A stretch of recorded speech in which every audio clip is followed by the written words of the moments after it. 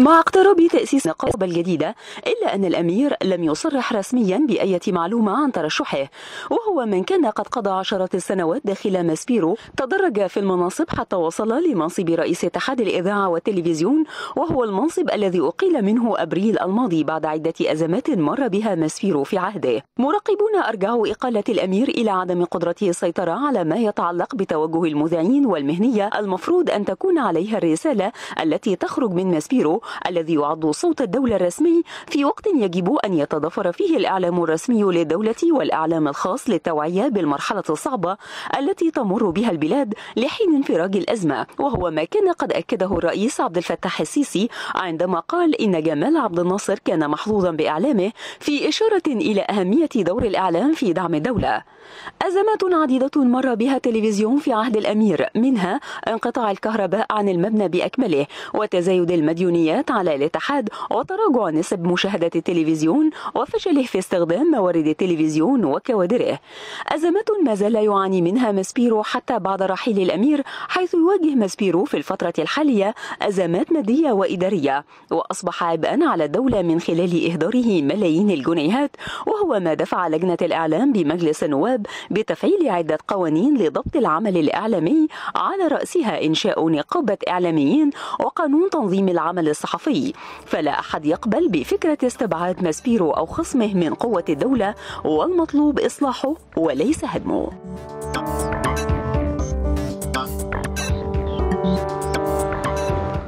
أهلا بحضراتكم عدنا بعد الفاصل. لو تذكروا منذ عدة شهور كان ضيفي الأستاذ عصام الأمير عندما كان يتقلد منصب رئيس اتحاد الإذاعة والتلفزيون وكان الكلام كله عن أوضاع ماسبيرو أوضاع اتحاد الإذاعة والتلفزيون.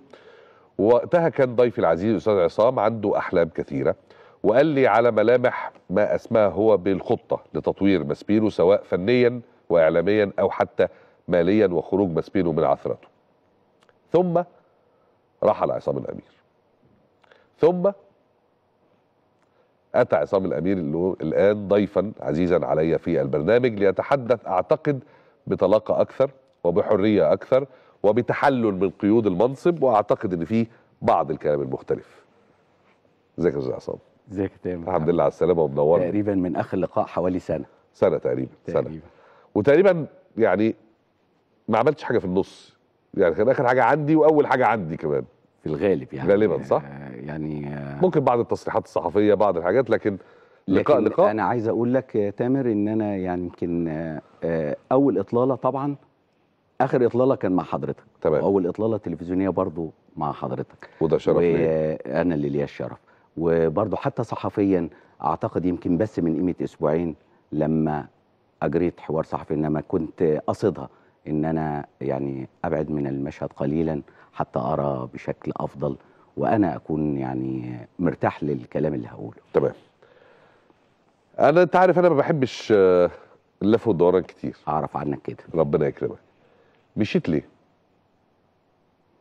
أعتقد إن الدولة بشكل أو بآخر لو قلنا كان عندها مثلا دايما لما بيبقى في خطة مثلا plan A واضح إن كان في في الكواليس plan B وبشكل أو بآخر قررت انها تدفع ب plan B فجأة فكان لازم يختفي كل من آه ورا الخطة ألف لأن آه شغالين عليها وكده. فمش هينفع تكمل آه، أو تتغير الخطة في وجود عامل أساسي من عوامل الخطة إيه؟ أعتقد ده في تصوري بمنتهى الصراحة السبب ما كانش ينفع إن أنا أبقى موجود. للخطة بي اللي الدولة كانت حطاها. آه، أو قررت تدفع بيها. طيب وهي الخطة بي دي مع كامل الاحترام. إحنا متابعين مش شايفين إنها تغيرت إلا في الشخوص. يعني يعني أصدق كلام حضرتك وأفهم منطقيته لو قلنا إن في بلان إيه أشخاص بفكر بسياسات الدولة قررت انه طيب شكرا والآن داخلين بأشخاص جدد ينفذوا فكر وسياسات بتاعت مرحلة مختلفة. بتضحك اللي ليه؟ أنا خايف منه بتضحك ليه؟ اللي أنا خايف منه ها إن تكون الخطة دي قايمة على استبدال آه، كيانات يعتمد عليها غير اتحاد الإذاعة والتلفزيون وطبعا في تصورهم وده عن حقيقة إن كيانات كيانات أعتقد يستبدلونها أعتقد- بمسبيرو أعتقد كده هوت وإن آه، ده كان هيبقى صعب في وجودي لأن آه. من المؤمنين طبعا أنا ابن من أبناء اتحاد الإذاعة والتلفزيون واعتقد الجهد الكبير اللي بذلناه يمكن في اللي حضرتك أشرت إليه في البداية انكم كنتوا في محاولات وفي خطط صحيح. للإصلاح المالي والإداري والهيكلي وخلافه فكان طبيعي إن أنا مش هوافق على إن حل يحل يحل محل آه، ماسبيرو أو اتحاد الإذاعة والتلفزيون فكان لازم عصام. الأمير يمشي. طبيعي طبيعي كأنك بتغير خطة نادي بالكامل فطبيعي لازم يمشي المدير الفني آه. لأن خطتنا الجديدة قايمة على حاجات جديدة. ده أخشاه وأتمنى إنه ما يحصلش لأن آه، إتهيألي رؤيتي ومش منحازة لاتحاد الإذاعة والتلفزيون. اتحاد الإذاعة والتلفزيون كإعلام خدمة عامة الأصول يبقى كده. إعلام للشعب بكل طوائفه دي خدمة لا يستغنى عنها على الإطلاق. مع احترامي الكامل لوجود لاعبين آخرين في المجال بالعكس ده يحسن ورئة. صح. الإعلام الإعلام لا يتنفس إلا بآراء مختلفة ووجهات نظر وده صحيح. طبيعي إنها تبقى وراه مؤسسات إعلامية آه، مختلفة كتيرة. كل ده يحسن المناخ الإعلامي ونبقى مستفيدين منه إحنا كإعلاميين. لكنه لا يلغي بند الخدمة العامة طبعا. ال- ال- ال- الصرف الذي يقوم به اتحاد الإذاعة والتلفزيون وهو ليس آه، آه، يعني أوجهه متعددة. ليست برامجية فقط ليست إخبارية فقط إنما يتعدى لدراما لرياضة لبرامج ثقافية صحيح. لبرامج وقبل رياضية. كل ده في رأيي أمن قومي آه، أعتقد على اللونج ران إنه إن دي أحد أعمدة دولة أعتقد دولة بتبقى قوية وخلينا نضرب مثال طب. قبل قبل المثال يا أستاذ عصام. يعني هو مش غريب إن أنا وحضرتك وكل المؤمنين بمسبيرو فاهمين هذا الكلام ثم تأتي الدولة ولا تنفذه أو على الأقل تبدي بعض الأفعال اللي تشير لنا إنها مش مؤمنة بالكلام ده أو مش فاهماه أو مش واعياه زينا. يعني إحنا أكيد مش عباقرة. يمكن مستعجلين شوية يمكن خايفين آه، أنت عارف اللي خليني أقول لك بجد بصراحة خلينا نقول اتفضل. الإعلام بقى بعبع باين عليه. آه. بعبع للأنظمة بعبع للحاجات. ففي وضع مثلا خلينا نقول شبه برضه نبقى واقعيين في وضع زي دولتنا شبه سيولة في بعض الحالات بيخليهم حذرين قوي مستعجلين على كيان مش مستنيين يصبروا على حاجة. آه. سوري تستوي بالراحة صحيح. تتصلح بالراحة. حبيبي أنا مش مستنيك مش فضيلك.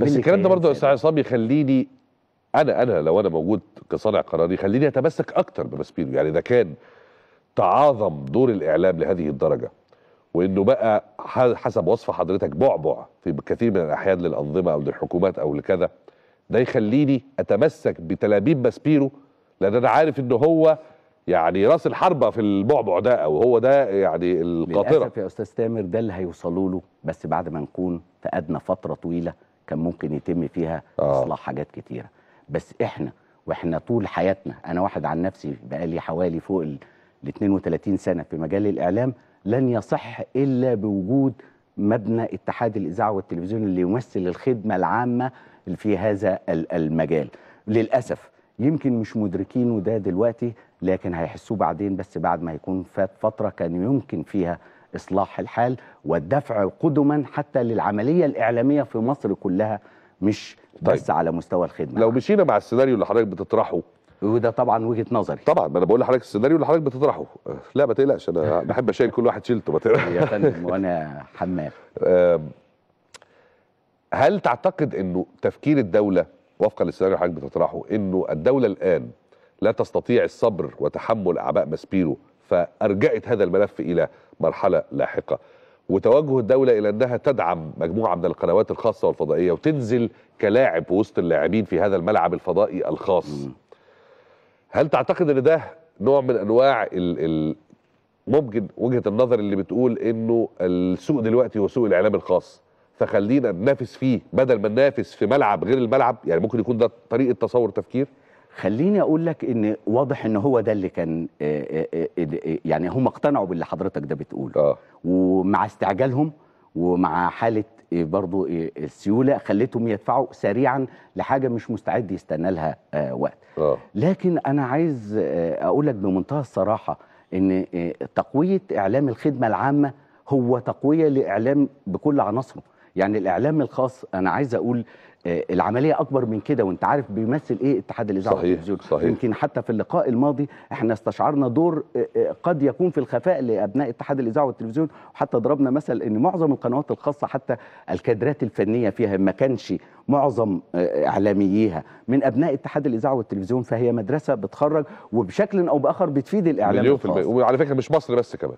وعالمنا العربي ده مش عايز أقول لك إن الواحد صحيح. لما كان بيسافر كانت قد إيه رقبته بتعلى آه، في السماء. لما يلاقي أبناء اتحاد الإذاعة والتلفزيون ففي النهاية أنت إزاي تخسر معهد أو مصنع بيفرخ لكل هذه الجهات أو لو أنت سكيت عليه طيب مين اللي هيمد ال- الحاجات دي بعد كده بهذه العناصر مين اللي هيمد الساحة الإعلامية الكبيرة دي القوى الناعمة دي اللي كانت موجودة طب ممكن أ- آه، أ- ألف الصورة بزاوية تانية ربما يعني أحط نفسي. مكان اتفضل. صانع القرار اللي فكر بالطريقة اللي إحنا بنطرحها دي انه دلوقتي اصبروا على مسبيرو شوية وخلونا نلعب في ملعب الإعلام الخاص. وننافس فيه لحد ما ربنا يأذن في مسبيرو لو أنا مشيت بال- بالمنطق ده ممكن وحضرتك كنت في المطبخ بقى فأقدر واحد تجاوبني. هل فعلا وصل الإفساد والإهمال في مسبيرو إلى درجة إنه بجد بقى صعب الحل؟ وفعلا الوقت محتاج وقت طويل لا. من كتر ما الإهمال؟ وخد بالك إنه إحنا بنتكلم على فترة كمان إحنا إحنا دي اللي بتكلم فيها الناس الوطنية المؤمنة. بالمصريه وكذا. ما كناش مسؤولين. عن ماسبيرو ماسبيرو اختطف لفترة من إيدينا. صلاح عبد المقصود على صفوة حجاز. ده عارف صفوة حجاز عمل إيه بعد آه يعني بلاوي سودا ففي النهاية في فترة اختطف فيها. إحنا ما كناش نعرف بيحصل إيه في ماسبيرو ده حقيقي. فربما هذه الفترة أدت إلى زيادة الحمل وزيادة الصعوبة بمكان إن أنا مش هقدر أحل في يوم ولا اتنين ولا سنة. فده اللي خلاني أروح للسيناريو بلي آه، قد يكون برضو آه، وجهة نظرك حضرتك دي هي ال- اللي اقتنع بيه آه. صناع القرار أو المسؤولين عن اتخاذ ال- ال- القرار. لكن أنا لازلت مصر على إن العملية كانت تستوجب ال- البدء في الخطوات. خصوصا إن حضرتك بتقول طيب ده يمكن هياخد فترات آه. طويلة. لا إحنا كنا ابتدينا خطوات يا أستاذ تامر. أيوه بس كانت هتجيب نتيجة سريعة؟ كان في الغالب إن إحنا بإذن الله تعالى كنا لو كنا ابتدينا في الخطوات اللي إحنا شرعنا فيها في الإصلاح خصوصا المالي اللي هيليه الإداري وكده. بالإضافة إنه كان مواكب لده لمجموعة من الإصلاحات ال- اللي بشكل أو بآخر طالت بعض البرامج والظهور بنوعية معينة في بعض المجالات المختلفة خصوصا في الراديو في برنامج كبير مثلا كان أنا مصر كان موجود محطة النيل للرياضة كانت ابتدى يبقى لها دور بارز ومساحة إعلانية ومساحة تواجدية كبيرة كانت في خطوات ممكن تبتدي إحنا لما جينا نتكلم على حل المشكلة بتاعت الدين ويمكن أنا عرضتها لحضرتك في المرة اللي فاتت. إحنا كنا بنتكلم على إرث من ال من ال من الدين وصل ل 23 مليار وكان بادي من أيام وزير الإعلام صفوت ال- ال- الشريف. آه ويعني أستاذنا الراحل أمين بسيوني كان موجود وكان عارف ال- الحكاية دي صحيح. بتفاصيلها. إحنا كان كنا ابتدينا في خطوات لحل هذه المديونية بالكامل. وقلت لحضرتك إنه كان عن طريق ثلاث محاور.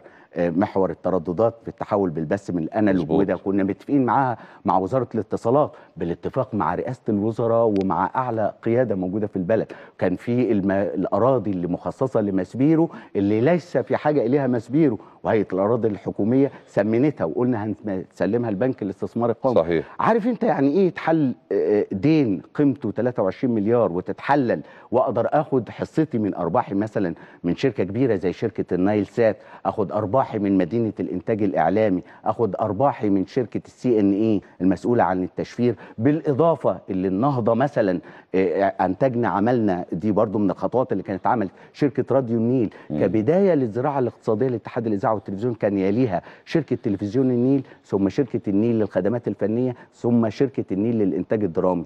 كل دي تتحول في خلال ثلاث أربع سنوات يعني زي شركة إنتاج شركة الراديو اللي ابتدت بسم الله ما شاء الله بإذن الله تعالى دلوقتي عامل شغل ممتاز، ممتاز. بسم الله ما شاء الله هيعدي إيه، يقرب من ال 200 مليون جنيه لما كانوا يجتمعوا العناصر دي كلها كانت حتى هتشيل عبء كبير عن الدولة في الناحية المادية صحيح. ويبتدي اتحاد الإذاعة والتلفزيون يتوفر لديه من الرصيد اللي يخفف العبء تماما في خلال مثلا كنا بنقول خمس ست سنين تماما عن الدولة وفي نفس الوقت يبقى عنده ال ال ال ال الملاءة المالية إنه يبقى يعمل كل ما يحلم به كل ما كان ينقصه. لكن خليني أتوقف عند نقطة حضرتك قلتها إن هل الإفساد والإهمال لدى مسبيرو لا أقسم لك بالله اتحاد الإذاعة والتلفزيون بجد في من ولاده في مختلف المجالات مهندسين مخرجين إعلاميين وأنت أدرى يا تامر وبجد اللي موجودين على الساحة بجد نجوم حقيقيين وناس كويسة صحيح، جدا جدا صحيح. بس تخيل إنك أنت لاعب يا تامر كل ما حد يطلع في كل فترة ما يفكركش غير بإنك يا فاشل يا فاشل صحيح، يا فاشل صحيح. أو, أو كلام ده. صحيح بلا شك إن ده بيحمل لك نوع من الإحباط يعني تخيل إنك أنت وأنت طبعاً. جاي لبرنامجك وأنت شوف النهارده وأنت فرحان قد إيه بالسعادة وكأن مثلا sorry أنت المدرس ال- الأستاذ عيون اللي, اللي رجع حلت له. مشكلته أو sorry آه، ليك قريب لا قدر الله متوفي والحمد لله اتحلت المشكلة قد إيه بتبقى تخيل لو العكس اللي بيحصل إنك محبط تماما وأنت داخل برنامج لا طبعاً. شك إن ده كان بيأثر لكن إن مسبيرو مليانه أو عنده ال ال القدرة البشرية إنه يقوم تاني؟ لا طبعا يقدر يقوم بدرجة كبيرة. ال- اللي حضرتك بتقوله أنا مقتنع بيه مليون في المية ويمكن حتى أنا اتهاجمت في بعض المرات خلال بعض ال- الهفوات اللي حصلت في ماسبيرو خلال الفترة اللي فاتت سواء كانت في الفترة اللي كانت مسؤول فيها الأستاذ صفاء أو حتى فترتك لما كان بيحصل فيها أخطاء في التلفزيون وأنا كنت بطلع هنا يمكن لحنين آه، للتلفزيون وكذا كنت بقول لهم يا جماعة يعني أرجوكوا لا تثقلوا على ماسبيرو. بدل ما تنتقدوه وتقولوا إن هو بيغلط وقفوا جنبه. صلحوه عشان ما يغلطش. لكن زي ما أنت حضرتك بتقول طول الوقت يا فاشل يا فاشل يا فاشل. طب أنا هشتغل ليه؟ وأنهي روح معنوية وكذا؟ زي ما حصلوا مرة في حوار الرئيس لما آه، اتحط آه، بتاع كذا مكان. كذا. ومرة لما حصل مش عارف مذيع عمل إيه وكذا قلت لهم يا جماعة طبيعي الجو العام لازم يؤدي لكده.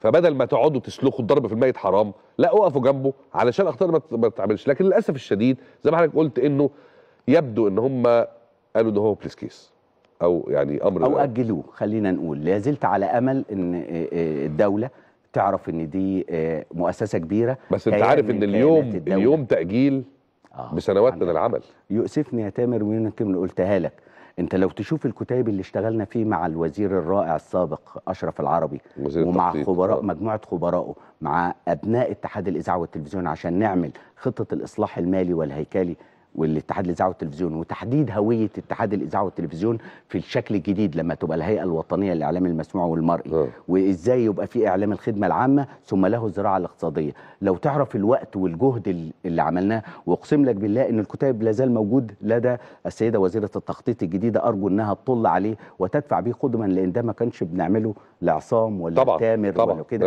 كنا بنعمله للمبنى وفي النهاية لمصر القوية. دي كان كلها أعتقد جهد ينبغي إنه إحنا أو غيرنا طبعاً. ينبغي النظر إليه بشكل طيب. أو بآخر. هروح لفاصل. بعد الفاصل هسألك في فكرة ال ال ال الأفكار. يعني عندما تقرر الدولة أن يرحل أشخاص كمان لازم الأفكار ترحل معاهم. كمان لازم شغلهم يرحل معاهم. لازم الكتيب ياخدوه معاهم ومروحين بس بعد الفاصل.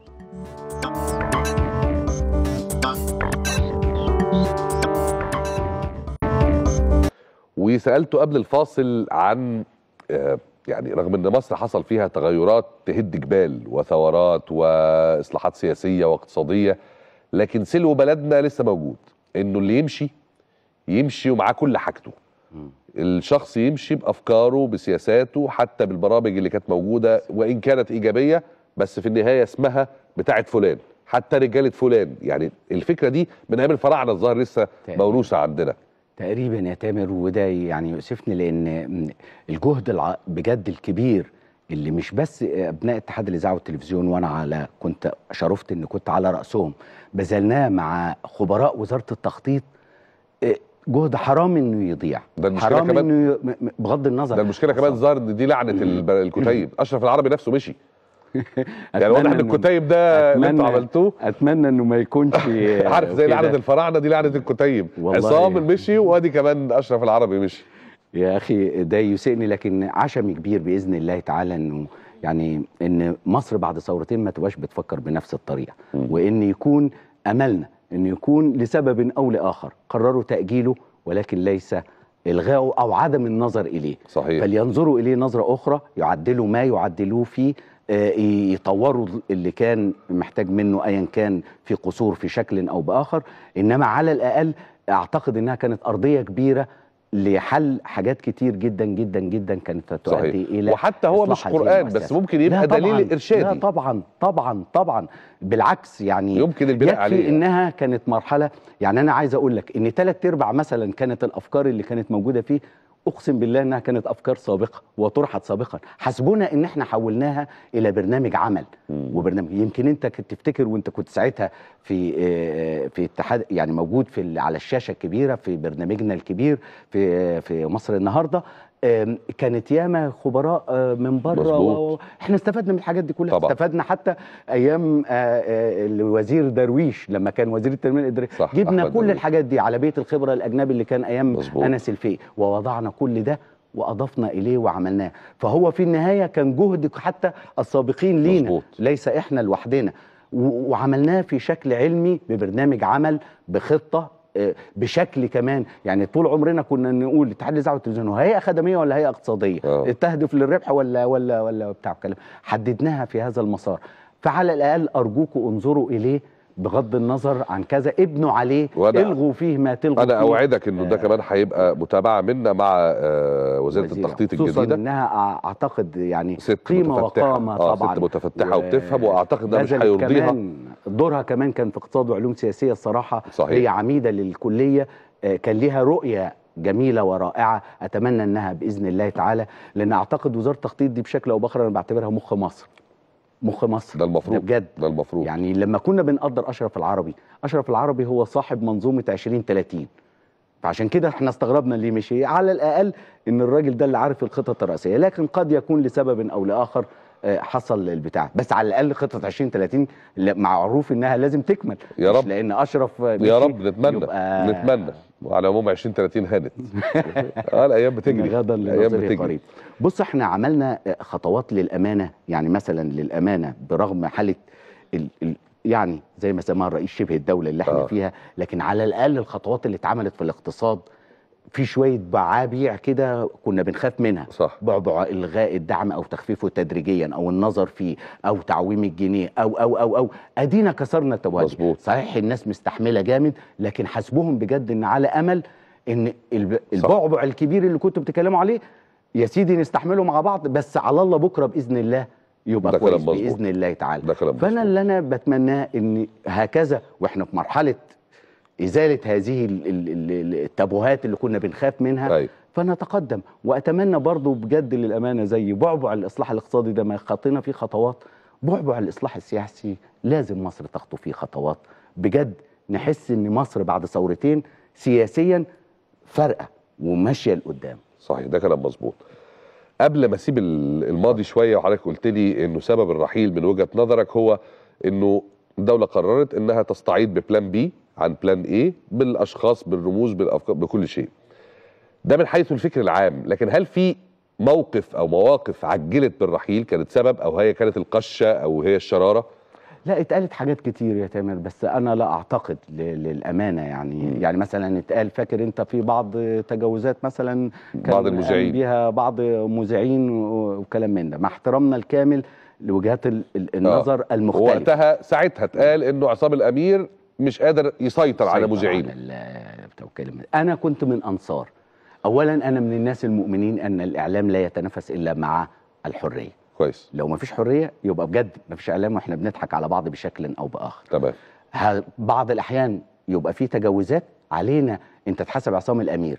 هل هو حاول يعمل بشكل علمي هذا التجاوز يرصده وي- ويحقق فيه بشكل منطقي ولا كنت عايزه يبقى سيف بطار أو كلام من يعني أنا فاكر لما حصل البتاع دي بمنتهى ال- الوقار عملت لجنة فيها الأستاذ حمدي الكنيسي فيها الدكتور حسن عماد فيها آه، سناء منصور. هل دي ناس مش قامات. إعلامية يعتد برأيها؟ اتفضلوا وقولوا لنا نعمل إيه مم. قالوا واحد أو اتنين في تجاوز لأن موضوع البرنامج ما يستاهلش هذا الرأي كان في هنا خروج في شخصنة أو كلام من ده ونرجو إحالة الموضوع للتحقيق وكلام من ده عملنا التحقيق وقالوا يكتفوا بإنذار مع ده مش مواجهة مم. وأنا لازم تامر قال رأي بغض النظر عن إنه خطأ أو غير خطأ صحيح. أو تجاوز أو غير تجاوز عملنا إجراء وعليه الراجل تقبله وخلاص ولا المطلوب ان تامر يمشي تماما قصاد أي خروج. مم. على اللونج ران مش ده هتلاقي حد. يتكلم. مش هنلاقي حد يتكلم. وده مش كويس. انت لما الناس بتتكلم يا تامر انت بتعرف إيه اللي حواليك. صحيح. الدنيا إزاي؟ تكلم حتى آراك. مظبوط. آه، أعرف المشاكل جاية منين. أنا يعني مثلا أنا يؤسفني في الفترة الأخيرة مثلا. مثلا أنا من وجهة نظري الشخصية عصام الامير استبعاد صوت زي إبراهيم عيسى من الوجود على شاشة إعلامية ده انتقاص من دور مصر. دي كانت رؤية وم- و- ووجهة نظر مختلفة آه، بتطرح لي شكل أو بآخر وبجد علينا إن إحنا آه، هذا الرعب من الرأي الآخر أو الخوف منه بالعكس والله لن نتقدم إلا بمعرفة إن أنا عينيا تبقى شايفة كل البلد بتتكلم في إيه وإيه اللي يهمها. وما يجمع عليه الجميع أو إيه هو اللي صح علينا إن إحنا نسلكه وبمنتهى القوة. إنما برضو آه، أعتقد الدولة يجب إحنا دولة كبيرة مش دولة صغيرة إحنا مصر. بجد فينا عبق بغض النظر عن طبيعي، مستوانا ال ال ال الاقتصادي أو كده لكن فينا عبق حضارة وفينا إحنا ما احناش زي الدول اللي عمرها آه، بضع مئات سنين وكده. لا ده إحنا مصر دولة قوية. يجب ان إحنا بجد وبعد ثورتين إن إحنا نستمع. ومش كل حاجة حتى الطريقة ال ال ال أنا آسف يعني يؤسفني إن حو تحويل النائب عام لا لا لا ينبغي بس تعرف يا أستاذ عصام هذه ان برضو في في المحور اللي بالشكل حضرتك. بتتطرق إليه ده ما هو أنا برضو ما أقدرش ألوم إلا برضو الدولة فيها ليه لأنه طالما أنت المظلة الكبيرة غايبة المظلة دي هي فكرة القانون يعني أنا واحد من الناس اللي بشتغل الشغلانة دي المفروض وأنا قلت الكلام ده عشرات المرات هنا في البرنامج المفروض إن أنا أبقى فرحان إن مفيش قانون يعاقبني. أنا هنا بطلع في البرنامج أقول اللي أنا عاوزه ومفيش قانون يح- يحاسبني. المجال الوحيد اللي موجود في جمهورية مصر العربية بلا قانون هو الإعلام. والغريب أن الدولة من رأسها إلى قدمها بتشكو من الإعلام. ومع ذلك ما حدش من ساعة دستور 2014 شوف يناير 2014 لحد النهارده إحنا بنتكلم في كام؟ في ثلاث سنين؟ ثلاث سنين تقريبا. رئيس الجمهورية كان في يده السلطة التشريعية لفترة ثم انتقلت السلطة التشريعية للبرلمان. لا طلع قانون الإعلام ولا طلع المجلس الوطني للإعلام ولا طلع هيئة المش عارف الصحافة إيه ولا طلعت مش عارف ولا طلعت كذا. ثلاث سنوات ونحن في فوضى إعلامية كاملة. مين اللي يلوم مين بقى؟ هو ده إحنا الأصول إن إحنا كإعلاميين إحنا اللي نلوم الدولة. هو ده وكانوا بيقولوا لنا فاكر أنا قعدنا ياما عملنا العديد من الجلسات صحيح وما بين فاكر انت لجنة يقول لك لجنة محلب ولجنة ال- الإعلاميين اللي هي. الخاصة اللي عملناها لجنة الخمسين ما يسمى بلجنة الخمسين يا سيدي وعملنا ورفعنا برضه وللأمانة برضه بذل فيها مجهود كبير برضه طيب الذكر برضه أشرف العربي على فكرة صحيح، للتجميع صحيح. بين وجهتين النظر ما بين لجنة محلب ولجنة ال- ال- الخمسين. الخمسين ودفعناها للبرلمان. وارتقى البرلمان إنه يفصلها لجزئين الكيان التنظيمي الأول والكيان بعد كده إيه المطلوب وإيه القانون اللي مظبوط. تمشي عليه. خلصوا البرلمان بقى له قد إيه يا أستاذ تامر؟ أعتقد إنه أكتر من شهرين. لا أكتر كمان. طيب أكتر من شهرين. ما طلعوش ليه؟ الله أعلم. إحنا ده جزء منها. إذا كانوا آه بيقولوا لنا إن في بعضكم بيتجاوز وكلام من ده طلعوا المجالس كي تحاسب بتاع. حاجة جميلة إن طلع الحمد لله المجلس التأسيسي لنقابة الإعلاميين صحيح، أخيرا صحيح. للأمانة عليها دور كبير قوي اللجنة التأسيسية دي طبعا. يعني عاجب سريعا إنها تعمل ميثاق شرف للإعلاميين إحنا قبل كده فاكر أنا آه، الدكتورة درية الله يمسيها بالخير حاولت تعمل بمجهود شخصي اتهموها أنت وزيرة وحكومة وسلطه تنفيذية ما آه، بقى في نقابة دلوقتي فلتعمل هي قانون ميثاق الشرف للإعلاميين صحيح. تحدد مين هو مثلا الإعلامي الغير عاملين بالإعلام أصلا مثلا من نجوم الرياضة والفن و و تحط لها شوية شروط مين اللي ينبغي مظبوط. إيه الدورات اللي ممكن يعدوا بس رغم؟ رغم إن أنا كده. طبعا يعني متأمل خير لأن ده حلم طال انتظاره الله. إحنا آه، من من- الثمانينات وإحنا بنناضل من. صفوت شريف ده حقيقي الله يمسيه بالخير يعني وإحنا بنتكلم ومع كان ساعتها برضو الله يمسيه بالخير أستاذ إبراهيم نافع لما رفض إن إحنا نخش معاهم نقابه الصحفيين وقال لك لا لا لا لا يعني خليكم أنتوا بره. وإحنا من ساعتها وإحنا بن بنناضل. من أجل هذا الحلم. بس برضو أنا مش مستبشر قوي بنقابة الإعلاميين في, في السكة دي يا أستاذ عصام. يعني نقابه الإعلاميين هي هتبقى النادي بتاعنا اللي بيدافع عن حقوقنا واللي بيجيب لنا مش عارف إيه واللي حاجات كتير قوي. ممكن يبقى في جزء بس في فكرة التقنين والعقاب قوي شوية لو في لجنة تأديبية أو كذا لكن قول لي ما نقابة الصحفيين موجودة بقى لها عشرات السنين قول لي صحفي تعاقب عند تجاوزه عادة النقابة بتبقى منحازة لأصوات من ينتخبها طبعا. فعشان كده يمكن أتفق معاك في مظبوط. إحنا عندنا عندنا الصحافه قول لي صحفي واحد. اتعاقب ده حقيقي ممكن يبقى يقوم بالدور دوت المجلس الأعلى لتنظيم الإعلام أيوه أحد اللجان اللي هتبقى مختصة بيه بتحقق في الشكاوى التي مظبوط عشان. كده أنا مستني الهيئات دي تتعمل تامر تجاوز في حقي كمواطن أو كمسؤول في كذا صح. أو كذا بعد إذنكم أنا بحط مشكلتي أمامكم وأنتم تروها. وأنتم مجلس متخصص. وكلام من وهي ترتقي العقوبة التي تراها طبعا كنا حاطين شروط في ما تقفلش لا وسيلة ولا تمنع طبعا. لكنها تعاقب الشخص بغرامة مالية أو بالامتناع. إذا رأت إنه مدان طيب فليسرعوا بانشاء المجلس الأعلى لتنظيم الإعلام يعني عندما انتهى منه البرلمان ورفعوا إلى الجهات المشكلة الأصول البرلمان ليه كوتا والنقابة ليها. كوتا بتاعنا ثم يصدر بيهم السيد رئيس الجمهورية ال- التشكيل البتاع فليسرع السيد رئيس الجمهورية نرجوه إذا كان آه، آملين إذا كانوا خايفين من الإعلام فليهو الجهات التي تنظمه وتشرف عليه في حدود زي ما أنت حضرتك قلت كده إن يبقى في قانون أعرف أتحاسب على بس. أساسه وإلا ما تقعدش تقول لي أنتوا بتعملوا كده ليه وأنتوا بتعملوا كده ليه طب يا فندم ما طبيعي. مفيش قانون بيعملني وأنت حضرتك قلت لي إيه المطلوب مني أو إيه سقفك أو إيه حدودك أو كلام. صحيح. فلتسارعوا بإنشاء المجلس ثم يرتقي بالإضافة بس أطلع برضو وأقول لازم يبقى عند الدولة بجد يقين أن ال ال ال يعني مسالب منع الحرية أكبر بكتير طبعا جدا لا جدا ما هو جدا هو تفتكر أنا مجنون. أنا إعلامي بطالب بقانون تقييدي لا، لا, لا. أنا بطالب بقانون نحتكم إليه نحتكم إليه بس تنظيمي. عندما أنت تنفيذي مواطن عادي بيشتكي من حاجة معينة نحتكم إليها إنما ما يكونش آه، بال- بالمنع أنا أنا عايز أبسط أبسط أو أضعف الإيمان زي ما بيقولوا أنا نفسي النقابة أو الهيئة أو المجلس أو كذا يقولوا مين اللي له حق إنه يقعد على الكرسي ده صح صح بس يعني ده أبسط أضعف صح. الإيمان إنه زي ما حضرتك كده تروح عايز تمثل ينفع صح. تمثل من غير ما تروح لا. لأشرف زكي. يديك تصريح من نقابة يا التمثيلية أستاذ تامر إن ده دور النقابة بقى في المقام. مظبوط. حقيقي سواء اللي هتدي له ترخيص أو اللي هو اوريدي من أبناء النقابة من العاملين هو ده الكلام. في مجال ال- طيب. الإعلام خلينا نروح لفاصل إعلاني أخير بعد الفاصل هرجع تاخد شوية مكسرات بقى كده لطيفة مع الأستاذ عصام بعد الفاصل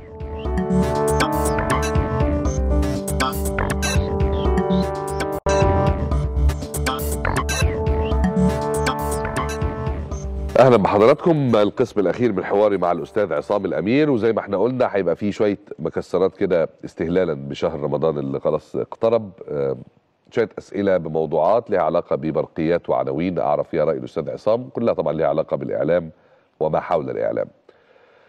حضرتك قلت لي في الجزء الأول من الكلام خالص إنه تم التفكير في إنه ننزل ملعب الفضائيات الخاصة ونسيب شوية ال- التلفزيون الدولة إلى أو حين ميسره إلى حين. آه إلى حين. التجربة رغم إنها وليدة بس ملامحها في وجهة نظرك إيه؟ أفادت إيه؟ وساهمت بإيه؟ آه، ممكن تكون سلبياتها إيه وإيجابياتها إيه؟ رغم إنها بضعة شهور يعني. بدري إن إحنا نحكم عليها. صحيح. ك- ك- ككيان إعلامي آه، كبير آه، منشأ. لا شك إن مصروف عليها كويس. آه، فيها جهد كبير.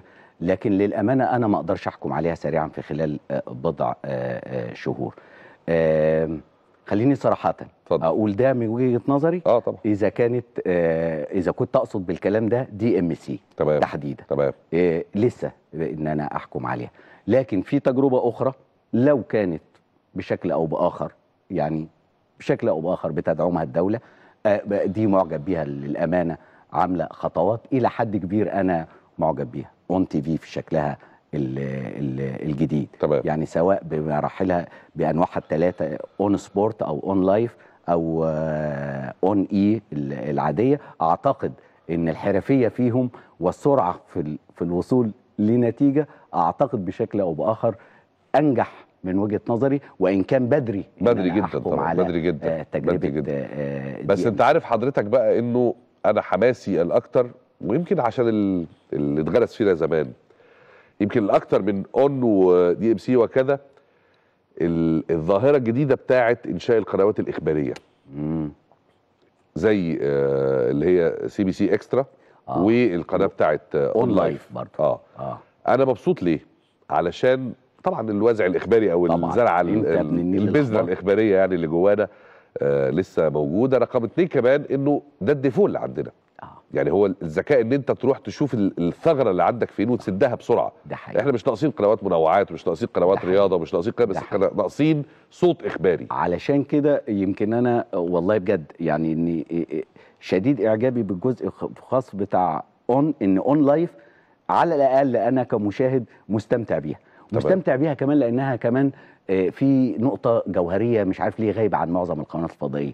ال- المواد التسجيلية آه. آه، اللي معمولة بشكل آه، رائع. يعني عاجبني عندهم سلسلة تسجيلية كده. أفلام تسجيليه حلوة آه، صحيح. آه، آه، يعني واخدة بس أنا فكرت في فكره وطرحتها هنا. دور قطر في الشكل الجديد أيوه واللي بتلعبوا في العقدين ثلاثة الأخرانيين وعاملينه الصراحة بشكل الحقيقة رائع. صحيح. وجهة نظر أجنبية على حاجات محلية طب خد دي بقى يا أستاذ عصام وقول لي دي فكرة خزعبلية كده خليها لنفسي ولا يمكن تطبيقها اتفضل أنا قلت الكلام ده من فترة ساعة لما كنت بهني آه، قنوات DMC. بالظهور وبهني آه، الشكل الجديد لقنوات ON وبتاع وأنا بجد ما بقاش عندي غيرة لأنه أنا سعيد كل ما البوفيه. يبقى مليان سلام. مليان عناصر غذائية إعلامية مهمة ده في مصلحة المشاهد حضرتك لما تخش بوفيه تلاقي ثلاث أربع أصناف هتقول ده بوفيه فقير غير لما تلاقي بوفيه ثري هتستمتع لازم جزء منها كمان أنت تبقى عارف وأنت الشيف اللي بتحضر يا تامر أنت بتحضر ل 90 مليون صحيح وراهم 300 مليون عربي شئت أم أبيت بجد أحسنت. بيتابعوه أحسنت بيتابعوا صح. بجد كل معظم. المحطات الرئيسية المصرية هي لها وضع مظبوط. ثابت عند المواطن طيب. طالما التوجه كده موجود أنا رأيي ما كانش ينفع كلهم يقعدوا مع بعض ويطلعوها قناة واحدة يعني بدل ما يبقى في CBC Extra ويبقى في ON E وهيبقى في القناة الإخبارية اللي هتفتحها DMC أنت عارف حضرتك DMC سلسلة قنوات. فتحوا العامة والرياضية ولسه ولسه. ال live. واحدة منهم هتبقى إخبارية. إخبارية. وأنت عارف حضرتك وحضرتك كنت مسؤول عن الإذاعة والتلفزيون عارف العمل الإخباري مكلف قد إيه. فبدل ما يبقى فيه هدر فلوس هنا وهدر فلوس هنا وفلوس مع دول يقعدوا حتى إن شاء الله مع قناة النيل الأخبار وكل الكوادر مع كل الفلوس مع كل الدعم يبقى في قناة تقيلة نعرف ننافس بيها العربية والجزيرة وسي ان ان وبتاع بدل ما يبقى عندنا صغيرين كتير هستأذنك ارجع للحوار بتاعنا اللي كان تقريبا من قيمة سنة آه ولما جبت لي سيرة تصوركم إيه للأخبار فقلنا مظبوط. كان في في التصور وفي الطرح اللي موجود إن إحنا نعمل شركة آه. اسمها شركة النيل للأخبار يكون هدفها تقديم محطة إخبارية إقليمية دولية ومحطة مناظرة ليها باللغة الإنجليزية أو ال- ال- ال- الفرنسية. وكان يتعمل لها مبلغ محترم هيتوفر لها ثم مجلس تحرير ويتحط لها الاستراتيجية ثم ننطلق إلى ال- صحيح. للأمانة ده متحقق مع اللي حضرتك بتقول لأن بجد آه صحيح. كان نفسنا بجد إن الجهد ده كله يتكمل بشكل أو بآخر كنا طارحينه وكان محطوط في الاعتبار صح. وكان محطوط حتى إن المبلغ الكبير ده يتوفر إزاي. فحتى آه. قلنا نعمل على نمط بعض الحاجات اللي كانت موجودة. أوكي. نجيب مثلا بنكين ثلاثة من كبارنا اللي موجودين على مصر للطيران على على على يوفروا لنا مبلغ لا يقل عن 300 مليون جنيه سنويا. مجلس تحرير محترم يختار كوادر للمحطة يختار مذيعين يحط خريطة ما تتقالوش غير حاجة واحدة تتحط له الاستراتيجية. إحنا عايزين إيه من المحطه صح. دي؟ كمحطه إقليمية ودولية تخاطب البتاع. وكان نفسنا إنها تبقى سكاي نيوز عربية طيب. جزيرة أو كده. لكن على الأقل على الأقل المحاولة الصراحة بتاعت CBC Extra وبتاعت ON TV ويمكن أنا ميال شوية معلش ده كمشاهد بقى عادي لا ما فيهاش ما فيهاش بس في آه، النهاية إن جهد حلو جهد حلو جهد حلو جهد حلو نتمنى إنه يتضفر مع بعضه. ويتضفر ويبقى له القوة وبجد ما ننساش إحنا بنخاطب مين. صحيح. بسرعة كده آه نرجع وزير إعلام؟ لا طبعا. خلاص مجلس لا. الأعلى لتنظيم الإعلام آه وكده. فاللي حتى إيه معاه ما ينفعش وزير إعلام لا على الإطلاق إيه سوري ال- وزير إعلام إيه إيه يعني لو هنرجع بيه للشكل القديم قوي التقليدي كأنه المتحدث الرسمي باسم الدولة يطلع يوضح حاجة يشرح يعني إيه فلسفة قرار معين اتعمل وللأمانة ده محتاجينه بشكل كبير جدا صحيح. خصوصا في ظل مثلا إن يعني السيد رئيس الوزراء تقريبا ما بيتكلمش يعني صحيح. ما بيحبش. وكده وإن كانت الصراحة هو رجل جاد وبيبذل جهد واعتقد إنه منظم على. الأقل وكده. وفي بعض الأحيان مثلا إن يعني في جزء منها خليني أقولها برضو بمنتهى الصراحة. أنا مش معجب إن كل ثلاث أرباع المتحدثين الرسميين في الحتت التقيلة السيد رئيس الجمهورية مجلس الوزراء يبقى سفير. مع كامل احترامي يا إخوانا اسمه متحدث رسمي إعلامي يعرف بيخاطب مين آه، يعني مش عارف مع كامل احترامي للسادة السفراء لا، وجهة طبعاً، نظر حضرتك ليها يعني. يعني شخصيات رائعة. لكن ده ليس ملعبها. صحيح ليس ملعبها صحيح. إذا كنت عايز ترجع وزير إعلام يبقى بالطريقة دي بيشرح بيفند بيقول بيوضح قد يكون حلقة اتصال بين الكل بشكل لطيف أو آخر أهلا وسهلا بس طيب. للأمانة ما أعتقدش. بسرعة كده أنا عارف ان ممكن تسهب فيها لكن أنا عايز عنوان كده. عندك تفسير للكيان اللي آه، خرج ولم يعد أو تايه دلوقتي وبنبحث عنه مع الشرطة اللي اسمه الهيئة العامة للاستعلامات؟ أنا بس عايز أعرف هي فين. يعني قبل ما أعرف هي دورها إيه عايز أعرف هي فين عايز أقول لك- ولعل المنع خير. أنا عايز أقول لك إن ده برضو جزء منها آه، يعني إذا كنت برضو بلوم للدولة إنها ليه نسيتها كده؟ هل تعلم يا سيدي الفاضل أنا ما بسمعش عنها حاجة يا أستاذ عصام. ما بسمعش عنها لا خير ولا شر. أنت تعرف إن رئيس الهيئة العامة للاستعلامات عين يعني أو رشح لمنصب سفير من شهر مايو اللي فات. هو صحيح لسه ما نفذش. آه. بس أنت عارف لما أنا أقول لك أنت يا أستاذ تامر أنت رايح خلاص هتبقى سفير مصر. في مش عارف إيه خلاص أنا دماغي. هناك خلاص دماغي يعني هناك. sorry خلاص يعني يعني حتى طبعا. مانيش فاضي بقى آه. أنا برتب أنت عارف سفير يعني بينقل خلاص أنا بقول لك حضرتك دماغي هناك في الحتة اللي أنا هروحها يعني ده يكفيني بس example علشان أقول لك ده بقاله ده من شهر مايو اللي فات لما طلع هو والسفير حسام قويش قالوا ده رايح بولندا آه. وده رايح مش عارف فين مظبوط بس عشان تتخيل إن يعني قد إيه الكارثة مع إن والله دور الهيئة العامة للاستعلامات ده ده دور خطير جدا أنا إحنا جدا. في بداية عملي في في في في اتحاد الإذاعة والتلفزيون سنة 85 الهيئة العامة للاستعلامات دي كنا بنروحها مثلا في مجال قضية واحدة زي قضية السكان فاكر كان هم بشكل أو بآخر كنا بنعمل مظبوط. إنتاج مشترك في إعلانات صحيح. كانت عاملة جهد يا ريس أنا فاكر. هيئة الاستعلامات دي كانت مهمة اولا كل زيارات الرئيس الخارجية هي ال- البوتقة أو المصدر اللي بيطلع يقول الرئيس عمل كذا وهيلتقي بكذا والتقى بكذا والبيانات الصحفية كذا. هي اللي بتحدث المراسلين الأجانب هنا وتقول لهم إيه اللي بيحصل وحقيقة الأوضاع. كانت هي اللي بتطلع تتكلم في موضوع الانتخابات رئاسية نيابية برلمانية كانت تطلع تقول لك كذا كذا كذا. للأسف. دلوقتي بقول لك لا بسمع عنها لا خير ولا شر لدرجه أنا بقول لك نفسي أعرف هي فين. للأسف للأسف. أنا عايز أزيدك بقى من ال من ال يعني سوري أنا آسف للطين بلة أنت تعرف إن في الكيانات الإعلامية الجديدة اللي طالعة ما فيش دور للهيئة العامة للاستعلامات مع إنها طلعت نزلت هيئة الاستعلامات إيه. جهة إعلامية طبعا يا ترى هي هتبقى تبع المجلس الأعلى لتنظيم الإعلام يا ترى هتبقى تبع الهيئة الوطنية لكذا لا بالشكل يا- بتقوله ده واضح إنها مش تبع طب أنا أقول. لك على حاجة حتى الإعلاميين اللي بيشتغلوا فيها يا ترى هيبقوا أعضاء في نقابة الإعلاميين ولا إيه مش وضعهم دول مش بالظبط؟ عارف الحقيقة. للأمانة الهيئة العامة للاستعلامات محتاجة إن آه، يعني القائمين على الأمر يقعدوا جلسة أنا أعتقد بجد والله وبالتالي كمان يعني لازم اسمها يتغير يا أستاذ آه، يمكن مع مواكبة قديمة. قوي يعني. الاستعلام عن إيه؟ حتى ال- يعني الاستعلام عن إيه صحيح؟ أنا حاسس إن أنا بكلم 140 دليل يمكن هو اسم مرتبط شوية. بالفترة قديم. الاشتراكية مع التوجيه و- والإرشاد، وزارة آه، التوجيه يا العامة سلام للاستعلامات. يا سلام إنما ممكن دي تبقى ده بالعكس ده ممكن تبقى الفرونت أو المنصة اللي بتخاطب فيها الخارج بكل طبعاً. صورتك طبعاً. وكده هي للأمانة محتاجة آه، كوادرها اللي فيها الكويسه قوي يتنظر ليها كويس قوي قوي قوي قيادة بجد يكون ليها رؤية وخطة مستقبلية بالإضافة إنها محتاجة بجد إمكانيات مالية صحيح. محترمة يتصرف عليها بدل ما أنا بروح أعمل مكاتب دعاية بره سين أو صاد أو كلام. من لا أنا أصرف عليها كويس قوي قوي وهي تقوم بالدور ده ده كلام مظبوط أنا وقتي خلص وسؤالي الأخير بيقول آه، حضرتك رايح فين؟ مش دلوقتي طبعا دلوقتي تروح بالسلامه إن شاء الله. أنا بتكلم رايح فين مستقبلا؟ هتعمل إيه؟ بتفكر في إيه؟ آه، في النهاية بجد آه، آه، بجد بقى يا تامر إحنا ولاد البلد دي وإحنا أنا واحد من الناس مثلا ما سبتش اتحاد الإذاعة والتلفزيون من يوم ما اشتغلت سنة 85 أه. لحد ما قالوا لي اتفضل مشكورا إحنا أنهينا خدمتك في اتحاد الإذاعة والتلفزيون. في أبريل اللي فات. آه، آه، أنا منقول دلوقتي بشتغل في آه، وزارة الثقافة آه مساعد وزير الثقافة. آه، كل احترام ل يعني إن هم قد يكون في خطتهم إن أنا مش مفيد ليهم بشكل أو بآخر فمش بيستعينوا بيا آه، بشكل أو بآخر قد يكون ده توجه نحترمه تماما تمام. تماما في النهاية أنت قصدك إن هو ده منصب شرفي يعني بشكل أو بآخر أنا طبعا لأني لم يكل إلي أي شيء لكن قد يكون أنا مش مفيد ليهم بشكل أو بآخر. لا أتدخل فيما لا. اعنيه لكن ممكن أتدخل على اللونج ران إن لو استمر الوضع على كده آه أعتقد إن أنا بدرجة كبيرة هفكر إني لا داعي إن أنا أبقى في حتة ما حدش عايز يستفيد بيها. آه فين. لكن في النهاية بجد بدون إن يتقال إن دي مبالغات في النهاية أنا تحت أمر البلد في أي حاجة قد طب ما بتفكرش تروح رحت وزارة الثقافة؟ رحت علشان أقول لهم مساء الخير. إيه، أمروني يعني أشتغل إيه وكلام من ده. و قابلت الوزير؟ لا. لا. طب ما تجرب تقابل وزير تقول له على فكرة معالي الوزير أنا المساعد بتاع حضرتك. أنا وادي له كارتك والله ادي له كارتك كده مكتوب فيه مساعد وزير الثقافة. شور إنه يعرف يا فندم. آه هو عارف يعني كده. فأنا تحت برضه. ذكره. لكن لكن بجد قد يكون بشكل أو بآخر مش في خطته أو على فكرة دي نقطة بس مالهاش علاقة بالأستاذ عصام بقى. دي نقطة كمان عايزين نبقى نتكلم فيها مرة في حلقة من حلقاتنا وهي فكرة ما أكثر المناصب الشرفية في بلدنا. كتير.